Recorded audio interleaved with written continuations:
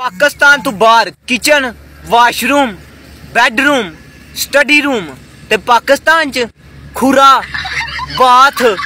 ਪੜੋਲੇ ਵਾਲਾ ਕਮਰਾ ਉਹ ਜਿਹਦੇ ਨਿੱਕੀ ਚਾਚੀ ਦੀਆਂ ਮੰਨੀਆਂ ਨਹੀਂ ਪਈਆਂ ਉਹ ਕਮਰਾ ਪੇਟੀਆਂ ਵਾਲਾ ਕਮਰਾ ਅੰਮੀਆਂ ਵਾਲਾ ਕਮਰਾ